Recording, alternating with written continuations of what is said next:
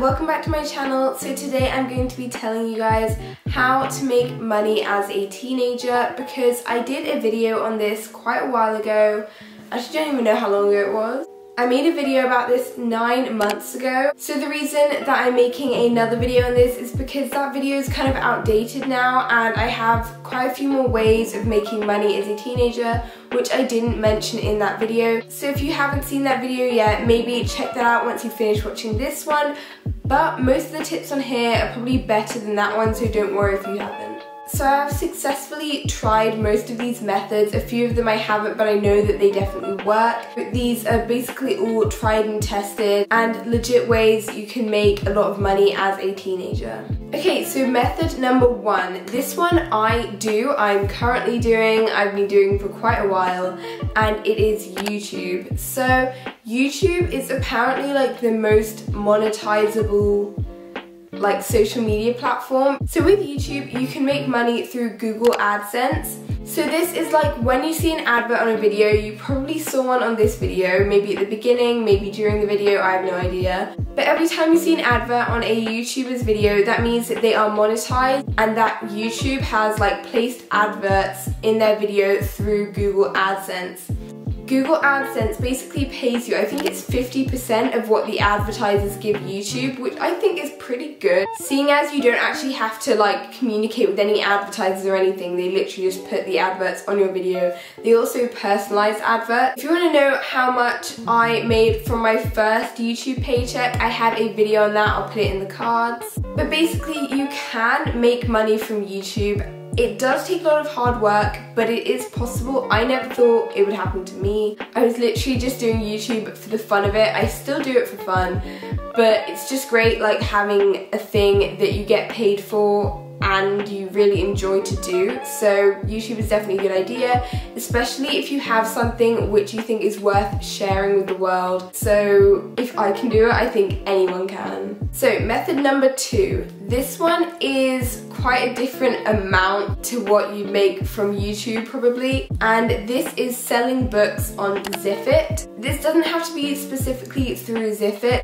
but I recently tried this and selling books on Ziffit is so easy. Of course, it's not sponsored, wish it was. But all you have to do is just scan the like barcodes on the back of books and it just comes up with a price instantly. You package them up, put on a like collect plus label and send them off. So I sold nine books and I got £5.71 for all of them, which I think is quite good seeing as there's not really another way to get paid from selling old books. It's either that or you probably give them to a charity shop or like give them to a member of your family. I don't know what you guys do with your books. So I just think this is a really good and quick way to get money. So if you want to try this, maybe ask your parents or other family members if they have any books which they don't want anymore or clear out someone's bookshelf, clear out your own bookshelf if you have one, I don't know. Just find a load of books, scan the barcodes, and there you go. Method number three is selling things. So this is quite a broad one, but I mean selling stuff on Etsy, selling stuff on Depop, selling stuff on Redbubble. I think Redbubble is a really good one because you don't actually have to make things yourself. All you have to do is like put graphics, like digital graphics, and then they can print it on anything, like they do it themselves. Like stickers is a really good one. I have a load of stickers on my water bottle. Some of them are from Redbubble. As far as Etsy, with this one, you do have to make the things yourself, although you can sell like digital things. You can make like planners, like digital planners or like hourly schedules and stuff and sell them on Etsy. That could be a really good thing if you're good at making those sorts of like planners.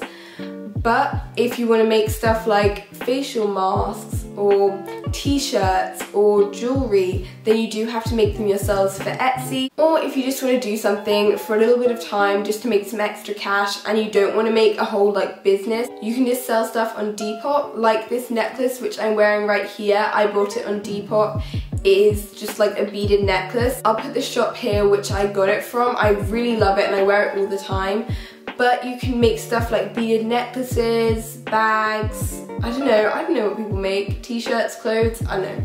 You can sell them on Depop and it's not like Etsy, Etsy is very like structured whereas Depop is more just like do your own thing so if you want something more casual then definitely go for Depop. I think this is number four Um, the fourth thing that you can do, this is also involving Depop or eBay, and this is reselling clothes.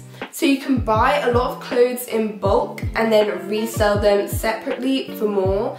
I haven't personally done this before, but my sister has, and it's worked pretty well for her as far as I'm sure. I think she just bought a whole like bulk order of stuff from PLT. Someone was selling PLT items on Depop and she just bought them all and resold them separately for more money. So I think this is quite a quick and easy way if you're good at selling stuff on Depop or eBay. Take pictures, upload them, send the stuff off and there you have some profit. So as far as I'm sure, this is quite an easy method. Number five is pet sitting. Okay, I know this might be a little bit difficult at the moment because of Corona, but also a lot of people are going on like staycation holidays. So if you know any like neighbours or family members who live near you who are going on holiday soon or if they're not even going on holiday soon you can just offer as long as they have pets. I think that's what I meant to say. I think this is quite easy money. I have pet sat before for my neighbours and it's not that difficult depending on what type of pets they have. I know like if they have dogs that is more high maintenance, you have to like walk them every day, but if they have cats or even like fish or something, then that is definitely an easy one. It's a pretty quick way of making some money. So this is one which I mentioned in my last videos, but this is a really good way of making money, which I've continued to do since I made that video, and it is selling old things on eBay. If you don't know what eBay is, it's like an online marketplace where you can sell your own things, buy other people's things, you can bid, you can do all sorts. So it's basically a great place to sell anything old that you have that you don't want anymore. I do this and I've made quite a lot of money from this because depending on the price of the thing, you can make quite a good revenue. I did mention this in the last video. A lot of people seem to think that I meant only expensive stuff and quite a few people were like, I don't have expensive stuff. How am I supposed to make money from selling stuff? You don't have to sell expensive stuff. Okay, I sold a Mamma Mia vinyl and I sold it for £3.20. Not great, but I still made money from it. I also sold a cheerleading bow hanger for £1.90. I'm still making money from it, but it's not a lot. It's not a really expensive item. So you can just sell a lot of cheap stuff and still make money. For example, I sold a Build-A-Bear for £2.38. I sold a paper file for £0.99 and I sold a duffel bag for £4.20. You can literally sell anything as long as it's at the right price. If stuff isn't selling, that probably means you're selling it for too high, you'll have to lower your price.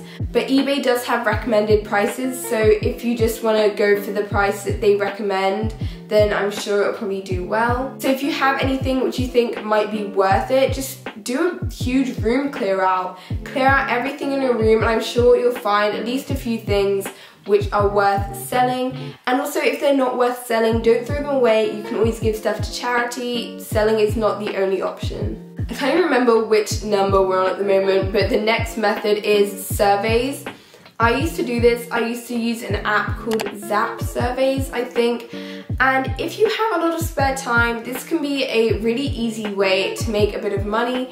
You can just sit down in front of the TV, in front of YouTube, in front of watching this video even, and you can do some quick little surveys. You just have to download a survey app on your phone. I think there's lots of them, but I personally used Zap Surveys. And then they give you surveys which you can do. Obviously, the longer ones you make more money from.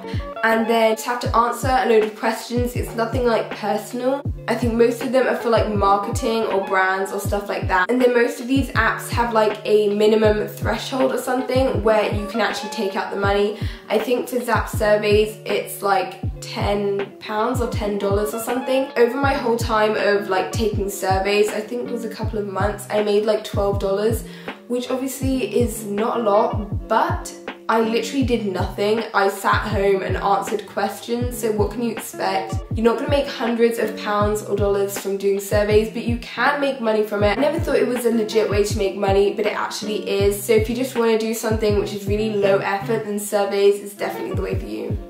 So I hope this helped you guys out. If it did, let me know in the comments. Also, remember to just be patient. You can't always make money super fast. It took me quite a while to start making like proper money. So try to remember that and I wish you guys luck in your entrepreneur money making. So don't forget to like subscribe for more videos like this. Bye!